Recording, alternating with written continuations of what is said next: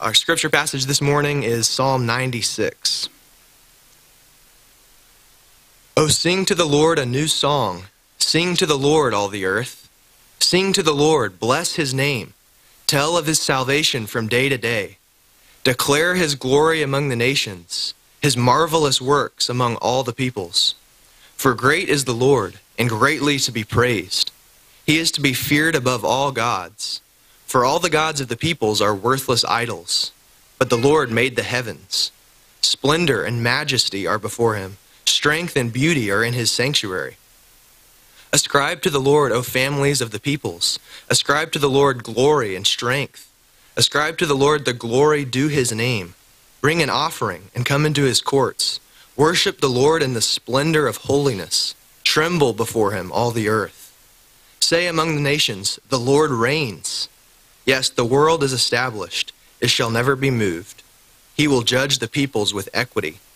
Let the heavens be glad, and let the earth rejoice. Let the sea roar, and all that fills it. Let the field exult, and everything in it. Then shall all the trees of the forest sing for joy before the Lord. For he comes, for he comes to judge the earth. He will judge the world in righteousness, and the peoples in his faithfulness. This is the word of the Lord. Thanks be to God. You may be seated.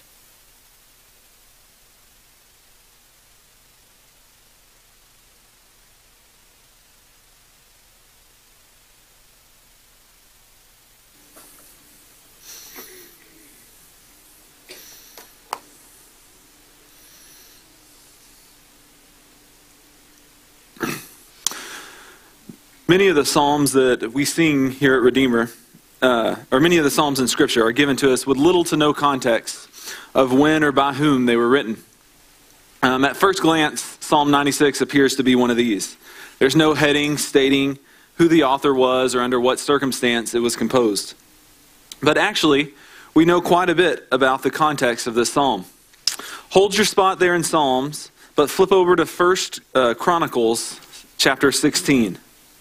That's just a few books back from the book of Psalms. Uh, go backwards a few books, you'll find First Chronicles. Uh, when you find First Chronicles, open it up to chapter 16, and we'll start in verse 23. verse 23 of First Chronicles 16 says, Sing to the Lord, all the earth. Tell of his salvation from day to day. Declare his glory among the nations, his marvelous works among all the peoples. For great is the Lord, and greatly to be praised, and he is to be feared above all gods. Do those words sound familiar? They should, because we just read them in Psalm 96. And this song of First Chronicles continually continues virtually verbatim of Psalm 96 all the way until verse 33 where it says, Then shall the trees of the forest sing for joy before the Lord, for he comes to judge the earth, which is how Psalm 96 ends. So we see they're the same song. Remember that the book of Psalms is a collection of the songs of Israel. One of the songs that they collected and added to their songbook was this song recorded for us in 1 Chronicles 16. And that is helpful because in First Chronicles, we have some context about this song. First, we learn that this was a song that David wrote, or at least oversaw the writing and singing of it. So this is a psalm of David. And then in verse 1 of First Chronicles, uh, it tells us why David wrote the psalm. Verse 1 of chapter 16 says, And they brought in the ark of God and set it inside the tent that David had pitched for it and they offered burnt offerings and peace offerings before God. So Psalm 96 was written because the Ark of the Covenant was being brought back to Jerusalem. This is the same ark in which Moses put the Ten Commandments. This is the ark on which God's presence rested in the wilderness in a cloud and a pillar of fire. This is the same ark that led Israel into the promised land, parting waters and enemies before it. But after they entered the promised land, this is the same ark that was captured by the Philistines, causing all Israel to cry out and shudder in terror Ichabod! the glory of God has departed from Israel. But God did not depart from Israel for long, for as soon as the Philistines took the ark, God punished them with plagues and diseases until they sent the ark back to Israel. But however, the entire time during King Saul's reign, the ark was basically forgotten. It was kept in the spare bedroom of a priest in some podunk village until God raised up a king after his own heart. And so once David takes the throne, he sends for the ark to bring it home. Because David desires for all of Israel's faith to be in God and not in him. He wants to lead Israel in worshiping God. So he tries to bring the ark back to Jerusalem, the capital city, that all Israel may come there and worship God. But you'll remember that David's first attempt of bringing the ark home was unsuccessful. He sends for it on a cart, and when the cart stumbles and Uzzah reaches out to touch it, Uzzah is struck dead for touching the ark of God. But the second time, here in 1 Chronicles 16, David brings the ark back home God's way, according to God's rules. He has the Levites carry the ark on a pole instead of a cart, as God had commanded him. And so finally, the ark comes back home to Jerusalem, where it belongs. You can understand why this would be an exciting day for Israel, and especially for King David. The treasured ark was being brought home again. But David understood the return of the ark to be more than just a celebration that a box was being put back in its proper place. It was more than just a relic being added to the Jerusalem museum. David knew that the coming of the, the, the coming of the ark to the capital city was a physical representation and foreshadowing of God himself coming to rule over Israel as its king. This event was a pledge from God that he would rule his people from Mount Zion, the Temple Mount in Jerusalem. And so, with the foretaste of this joyous promise in his heart, David sheds his royal robes, dances in the street among the commoners, and fills all Jerusalem with songs of praise for the triumphal entry of their true king. My friends, we have the privilege this morning of joining with David in singing a song of our king's inauguration. I hope this song warms your heart as it did David's. So turn back to Psalm 96 and let's look at our text in detail. Uh, this psalm that, that we're going to look at in just a moment does not divide up into sections uh, quite as neatly as some passages. And that's largely because this song is, uh, there's such a joyous and unified theme throughout this entire psalm. Spurgeon, commenting on Psalm 96, said, as for divisions, we make none, for this is a garment of praise without seam, woven from the top throughout. So instead of divisions or points this morning, I want to organize our thoughts around the way this song progresses, how this song expands, like a lens zooming further and further out to give you a wider and wider picture, a, view of the picture that you're looking at. The psalm begins with a call for God's people to praise God, their Savior. That's the smallest, most zoomed in picture. God's people. That's verses 1 through 6. Then in verse 7, that picture expands to a call for all families of all people to praise God, their sovereign. It's zooming out from God's people to all people. That's verses 7 through 10. And then in verse 11, that view expands even further to a call for all creation to praise God, its judge. That's the final panoramic view we see in verses 11 through 13. So let's think along that progression this morning. A call to praise beginning with God's elect and expanding all the way to creation itself. Read with me the first three verses of this psalm as we see how those whom God has saved are called to praise him. Psalm 96, beginning in verse 1. Oh, sing to the Lord a new song Sing to the Lord, all the earth. Sing to the Lord, bless his name. Tell of his salvation from day to day. Declare his glory among the nations, his marvelous works among all the peoples. This psalm begins with a command to sing a new song to the Lord. That phrase new song isn't referring to the newness of the song itself. After all, when we sing this together at Redeemer, we're singing a song that was written 3,000 years ago. It's not much of a new song. What David means by new song is a song that praises God's new mercies. It is as if David was saying, Yesterday we praised God for his mercy, but today we have received more and new mercies from the Lord. Therefore, the songs we sing yesterday are not enough. We must sing a new song. Let us offer up new thanks for the new mercy we have received. And of course, this new mercy to which he is referring is the return of the ark and the subsequent reign of Christ, which the, of which the ark was a seal. But the most glorious reason we have to praise God is for his salvation. Look at verse 2. It says, Tell of his salvation from day to day. All the earth should praise him as creator. Every person in whom there is the breath of life should praise him as life giver. Everyone who eats should praise him as provider. But we, his children, surpass them all in praise, for we praise him as our Savior. The first six verses give instructions for those who have been saved. There is the call in verse 1 for all the earth to sing to the Lord. But apart from that, the focus of these first verses are on the praise of those who can tell of his salvation, those who understand the vanity of idol worship, and the splendor and the majesty of the Lord. These first six verses are a command directed toward God's people. God's people are to do two things we see in the first six verses praise and proclaim their Savior.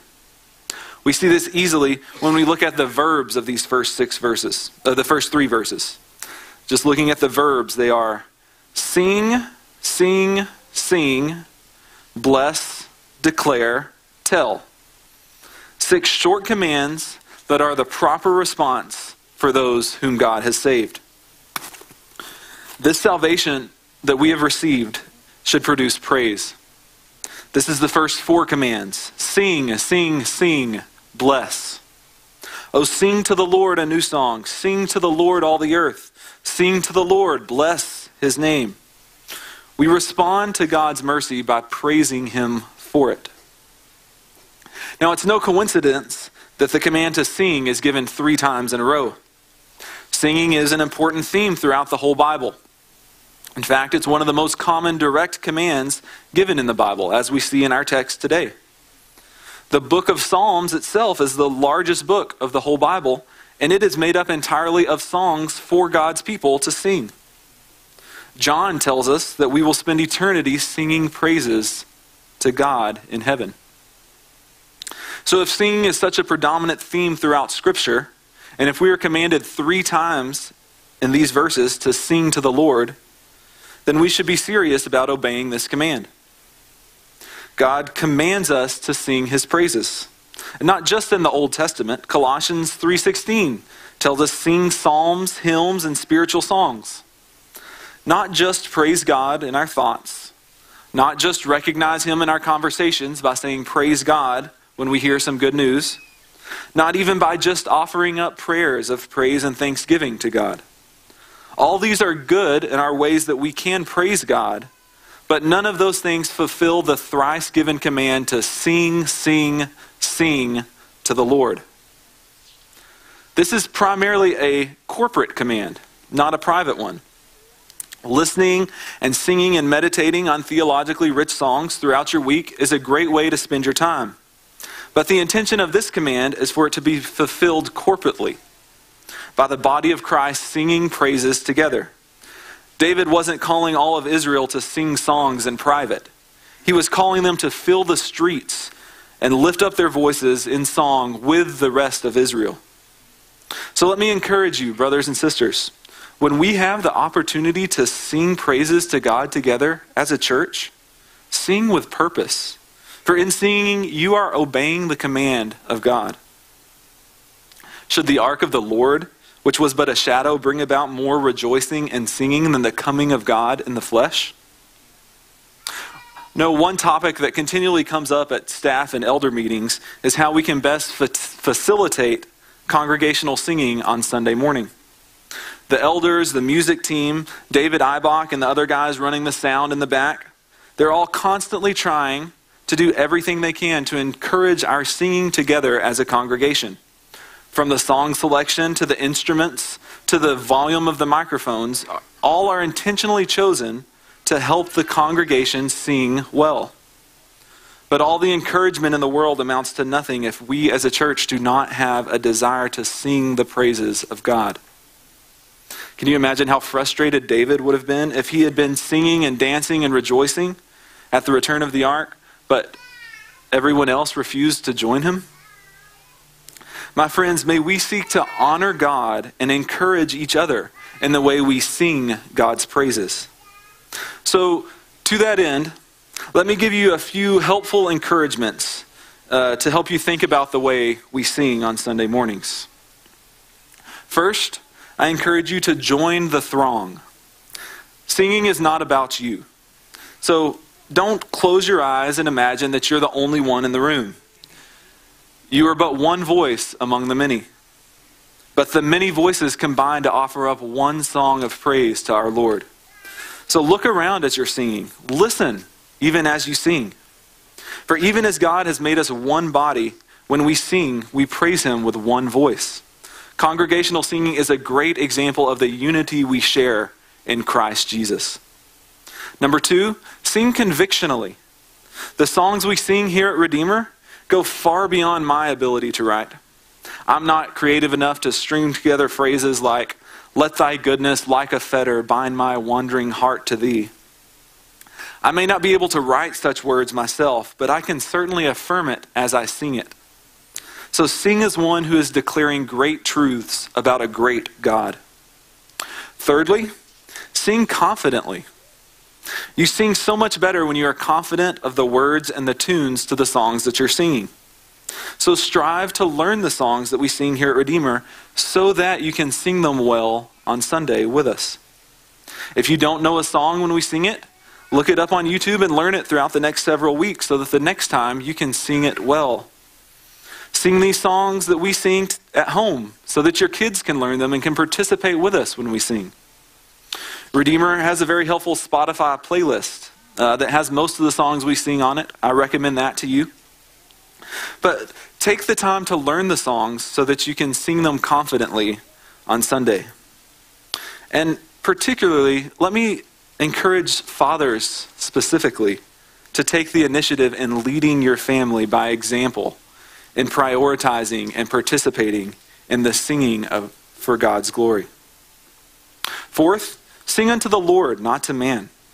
One reason people sing quietly at church is because they do not want people to hear them sing. If this is you, I assure you that you think your voice sounds worse than it actually does. No one notices your voice as much as you do. But even if, like me, God has not blessed you with a particularly beautiful voice, Sing so as to please God with your voice and not men. Do you think in Revelation the four living creatures and the angels singing praises to the Lamb were worried about what John thought of their singing ability? God has given you your voice and would have you use it to sing his praises to the best of your ability. So do not be embarrassed to sing the praises of your God. And going along with that one, number five, I encourage you to sing loudly. Singing is not a private activity. Singing is meant to be heard. So do not content yourself with singing as quietly as you can, as if you are ashamed for anyone to hear you singing the praises of God. Instead, sing loudly, sing proudly. What a shame it would have been if the four living creatures around the throne were not singing praises loud enough for John to hear them. God deserves to have his praises heard, so sing loudly. And number six, sing lovingly. How loudly should you sing? Sing as loudly as you can sing lovingly. Do not seek to drown out the other voices around you when you sing. Instead, seek to complement them with your own. Sing like you would want your neighbor next to you to sing. Loud enough to be heard, but not so loud that it's the only voice that can be heard. And then, number seven, Sing as well as you are able. This is the summary of all my advice. If you forget all the rest, try to fulfill this one. Sing as well as you are able. Sing every song we sing as beautifully and as intentionally as you can. Sing to the glory of God, for he deserves nothing less. Let's strive to implement some of these uh, practices when we sing this psalm at the close of our service today. But before that, let's get back to our text. We saw the first way we should respond to God's salvation is by singing his praises. Sing, sing, sing, bless. But notice those next two commands in verses 2 and 3. Tell, declare. Tell of his salvation, declare his glory. God's salvation should first cause us to respond in praise to him, but the second natural reaction is to tell others about it. Salvation leads to both praise and proclamation.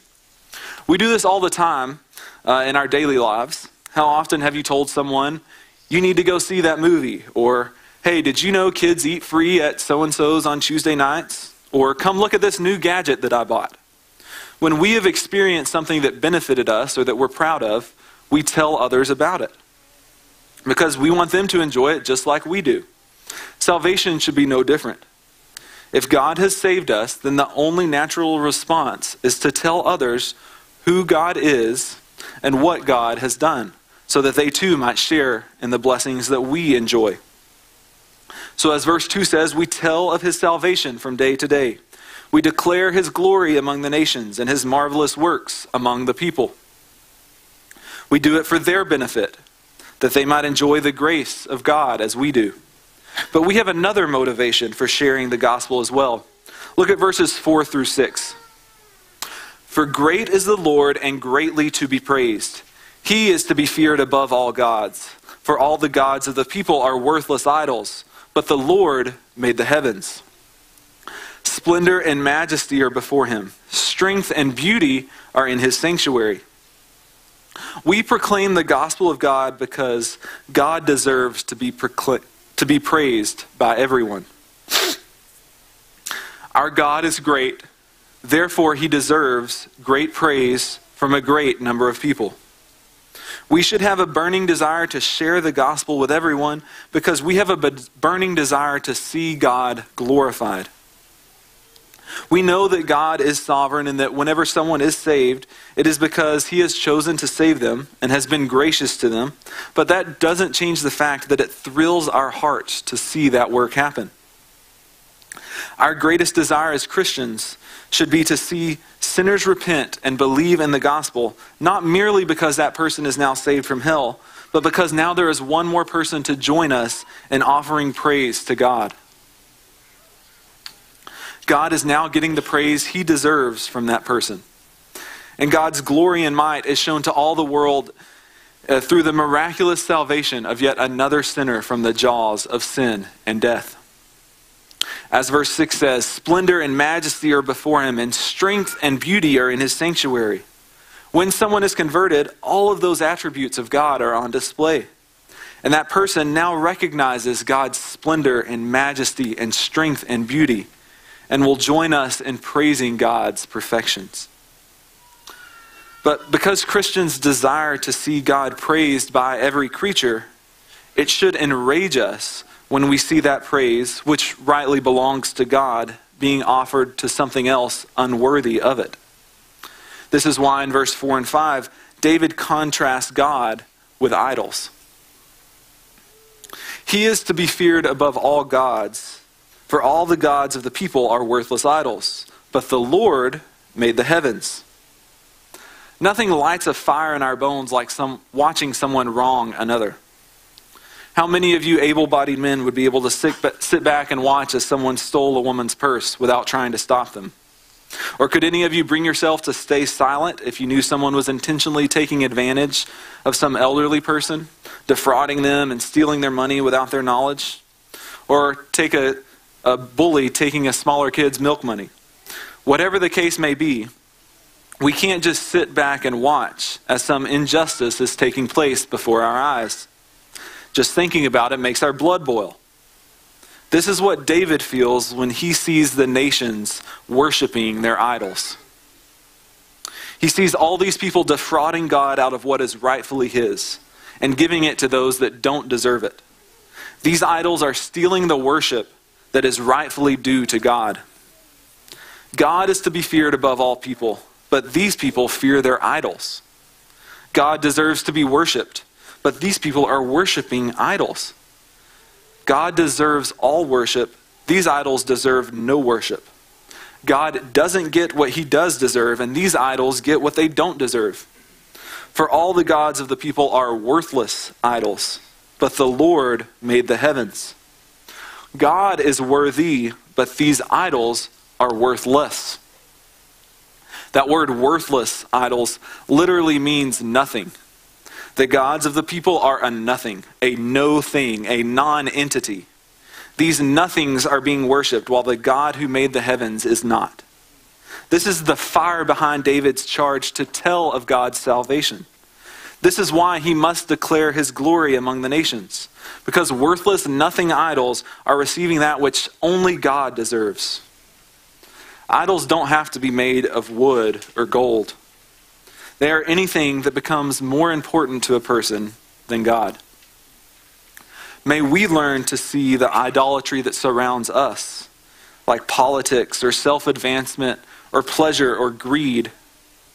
And may those idols provoke our zeal for God's glory and cause us to tell of his salvation from day to day. There is no greater motivation for sharing the gospel than a desire to see God glorified through the salvation of sinners. And this starts in our own hearts and daily ridding ourselves from all the glory stealing idols we find in our lives. So, thus far in our text, the psalmist was mainly addressing God's children. But in verse 7, the focus widens. Now, David appeals to families of the peoples. That is, all the families of all the peoples. Now, all the people of the earth have a commission, and it mirrors that commission given to God's people. We saw the commands to praise and pro- proclaim in verses 1 through 3 by following the six imperative verbs sing, sing, sing, bless, tell, declare. Starting in verse 7, we have seven new commands, the first three of which are again repeated ascribe, ascribe, ascribe come, or bring, come, worship, tremble. Let's read verses 7 through 9. Ascribe to the Lord, O families of the people, ascribe to the Lord glory and strength. Ascribe to the Lord the glory due his name. Bring an offering and come into his courts. Worship the Lord in the splendor of holiness. Tremble before him, all the earth. The command ascribe has to do with giving God what he deserves. Ascribe to him glory because he is glorious. Ascribe to him strength because he is strong. If the first command of sing, sing, sing to the Lord teaches us the correct response to God, this command, ascribe, ascribe, ascribe to the Lord, teaches us that God deserves such a response. We ascribe to God that which he is. We acknowledge his perfection we give him what he deserves. In verse 8, we see this phrase ascribe to the Lord the glory due his name. When you think of God's glory, think of his holiness and beauty on display. We are commanded to ascribe to him the glory that he deserves for revealing himself to us as glorious. Just as we ascribe beauty to a beautiful picture in response to seeing it, so we ascribe glory to, God, to a glorious God in response to experiencing Him. This is really the central theme of the entire psalm. Give God His due. Christians, give God what He is due, namely praise and proclamation. All people of the earth, give God what He is due, namely your worship. All creation, give God what He is due, namely your rejoicing and delight. Ascribe to the Lord that glory which is due His name. Think for a moment about how much glory God is due. He is creator, sustainer, ruler, savior, and judge. He deserves an infinite amount of praise for any one of those roles. Yet, how great of a debt has mankind accumulated for not ascribing to the Lord the glory due his name? No man is able to give God all the glory he deserves, and most men never ascribe any glory to him at all. Even we, his children, must confess that our desires to glorify God are small and inconsistent. But though we are too small and too sinful to give God all the glory he deserves, let us not fail to do so for a lack of effort. May this be our mission and purpose in life to endeavor to ascribe to the Lord the glory due his name. The Westminster Catechism tells us that the chief end of man is to glorify God and enjoy him forever. Let us not lower our goal. The chief end of man is not a better knowledge of God. The most important thing you can accomplish is not to repent of some particular sin. The greatest desire, your greatest desire, should not be to be consistent in your reading your Bible every day. All those are wonderful things, but they are lousy goals. They are means, they are not ends. They are steps that lead to our goal, but they are not the goal itself. Our goal should be to bring glory to God. And then, if that is our goal, the next question is how do we do that? How can we bring glory to God?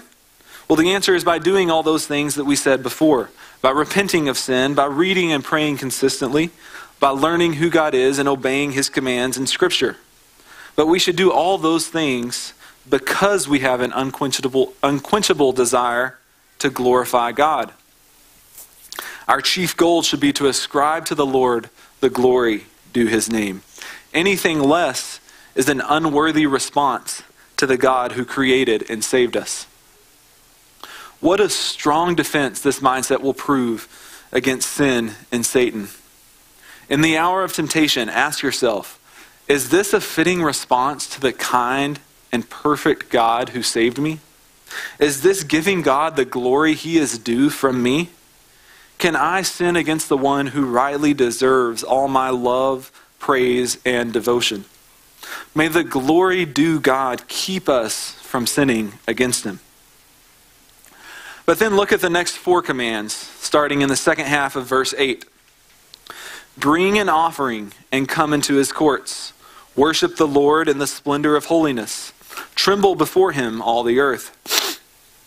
Bring, come, worship, tremble. Notice here that the worship is described not by what God gives to men, but by what men do before God. Bring, come, worship, tremble. Those are all verbs that focus on what we do in response to God and not what God does for us. Worshipping God is about worshiping God. It is not primarily about what we get from worshiping God. Now, to be sure, it is not as if God needed our worship or as if our praises added anything to his perfection. Our worship doesn't make God great any more than looking at a beautiful picture makes it beautiful. Instead, our worship is a response to God's perfection. It is because the Lord is great that he is greatly to be praised. The primary reason we should worship God is because God is worthy of our worship. The benefits and joys that God gives us when we worship him are secondary. This is what I mean. When we gather together to worship God on Sunday, the primary reason is so that we can praise and worship God for who he is. The secondary reason we gather is because it is encouraging to our souls and renewing for our minds to sing his praises and hear his word preached. But why do we sing? It is not because it gives us a warm, fuzzy, emotional high. We sing because God deserves to be sung about. Why do we proclaim the gospel? Because God deserves to be talked about. Why do we repent of sins? Because God deserves to be lived for and obeyed. Why do we read our Bible and listen to the preaching of the word? Because God deserves to be known by us. And why do we pray? Because God deserves for us to express our love for Him and our desires to Him. Are there secondary benefits to all of these things which are for our good? Of course. I hope none of you are so stoic that you can, that you can find no joy or comfort in singing the songs of God. But the main motivation behind all that we do should not be what we gain from worshiping God, but rather how much God deserves our worship. We worship him because of who he is. And God is due such worship from all the families of the people of the earth. But notice what particular aspect the psalmist highlights when he declares that every person is duty bound to render unto God worship and praise. Why should all the people of the world worship him? Because God is sovereign. Look at verse 10. Say among the nations, the Lord reigns. Yes, the world is established. It shall never be moved. He will judge the peoples with equity. God deserves worship from every person of every nation because he sits over them as their ruling king. The word sovereignty has to do with reigning, with kingship. If someone is your, your sovereign, they are your king. They have authority over you, they are reigning over you. The Lord reigns over all the world. He established the earth. Not only did God create the earth, but He established it. You can think of a building being so well established in the ground that it won't fall over. Regardless of what assails the earth or tries to tear it down, the earth and all that happens on it will never be manipulated by anything or anyone but God. God is sovereign. He sustains the earth and he rules over it as king. He makes the rules. He decides what happens and what doesn't happen. He calls the shots. Therefore, let all the world know they have a responsibility to praise the Lord, because whether they like it or not, the Lord reigns over them. He is their king, and he will be their judge. And that idea of God as judge brings us right into the last section of this psalm. In verse 11, the, the lens once again zooms out. Just when we think that it, we've seen the whole picture, that it can't get any wider than every man in every nation being called on to praise God, it does. Now the psalmist calls not only every created man to praise God, but every created thing to give God praise. For he is the judge of all creation. Look at verse 11. Let the heavens be glad, and let the earth rejoice. Let the sea roar, and all that fills it. Let the field exult, and everything in it. Then shall all the trees of the forest sing for joy before the Lord, for he comes. For he comes to judge the earth. He will judge the world in righteousness, and the peoples in his faithfulness. Heavens, earth, sea, field, trees, even these inanimate objects should feel joy in knowing that the Lord is coming to judge the earth. Paul tells us that creation itself is groaning under the curse of sin that was brought into the world through Adam. Romans 8 20, uh, 20, through 22 says, For creation was subjected to futility, not willingly, but because of him who subjected it, in hope that creation itself will be set free from its bondage to corruption and obtain the freedom of the glory of the children of God. For we know that the whole creation has been groaning together in the pains of childbirth until now. Creation groans because of sin. When God cursed Adam, he also cursed the ground. The earth was corrupted. The seas are now violent. The skies bring either scorching heat or icy, bitter cold. The fields are no longer able to willingly yield their fruit to men but rather must produce thorns and thistles. Trees are hewn down and fashioned into a cross, on which the one whom they desire to glorify is crucified. But all the while, creation is groaning and longing for that day when it will no longer be subjected to futility, but will serve and glorify God the way it was created to. When it too will finally give God the glory due his name. So at the news of Christ coming, all creation rejoices. For when he comes, he will judge all sin. And in his justice, he will save the sons of glory and redeem creation itself. So that in the new heaven and the new earth, there will be neither scorching sun nor icy wind. And the ground will not produce thorns and thistles and trees of death, but the tree of life, yielding its twelve kinds of fruit each month with leaves for the healing of the nations.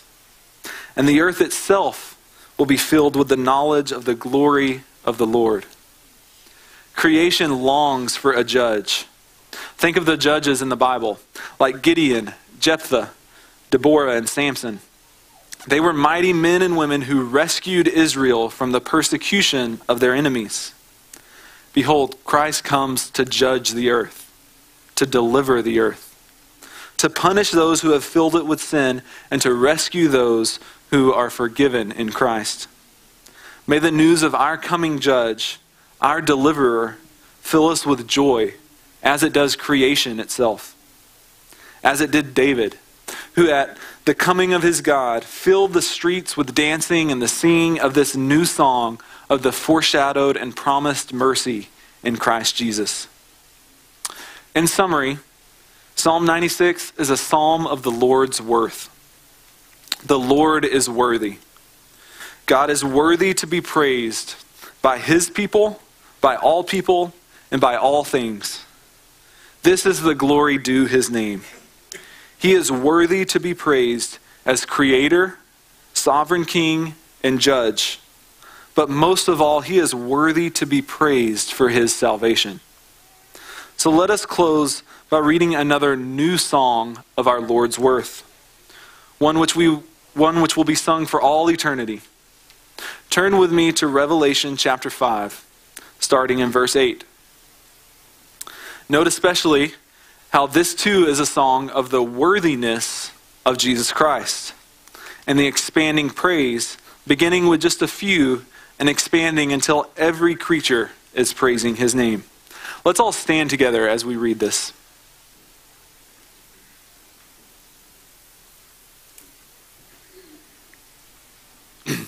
Revelation chapter 5 will begin in verse 8.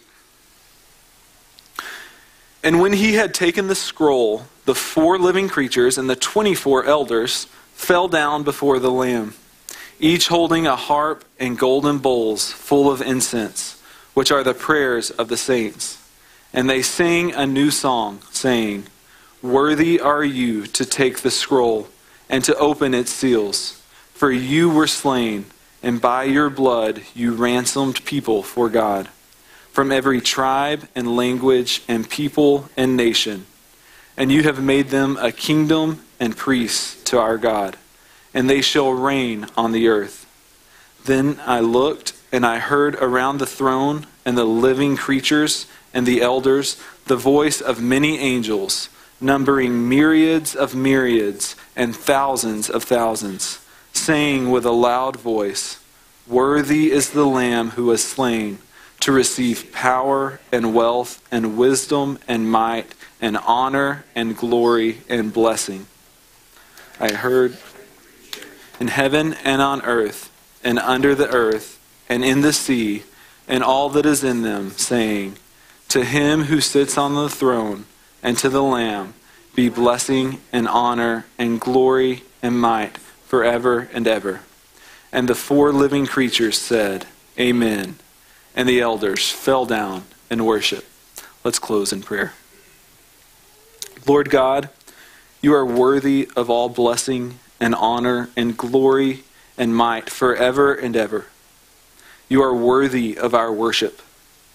Our prayer is this glorify yourself in us. Grant us to ascribe unto you the glory due your name. And through the blood of Christ, forgive us when we fail to do so. Amen.